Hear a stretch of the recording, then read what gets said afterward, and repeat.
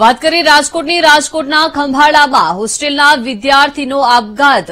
તો વિદ્યાર્થી દ્વારા આપઘાત કરવામાં આવ્યો છે. અગિયાર સાયન્સમાં અભ્યાસ કરતા રીધમ રોજાસરાએ આપઘાત કર્યો છે. રિસેસ દરમિયાન રૂમમાં ગયા બાદ રીધમે આપઘાત કર્યો હોવાની વિગત મળી રહી છે.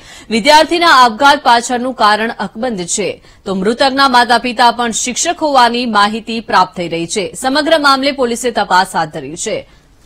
તો અગિયાર સાયન્સમાં અભ્યાસ કરતા વિદ્યાર્થીએ જીવન ટૂંકાવ્યું છે. વધુ માહિતી મેળવીએ સંવાદદાતા વિક્રમસિંહ પાસેથી. વિક્રમસિંહ, જે રીતે અગમ્ય કારણોસર વિદ્યાર્થીએ આપઘાત કર્યો છે, શું વિગત?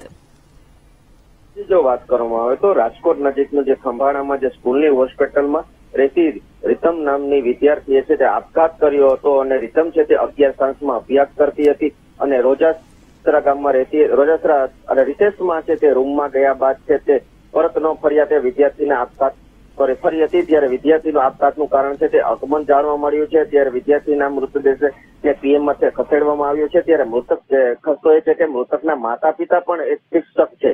ત્યારે સમગ્ર મામલે છે રાજકોટ પોલીસે તપાસ હાથ ધરી છે. જી. જી, આભાર વિક્રમસિંહ. વિગત આપવા બદલ.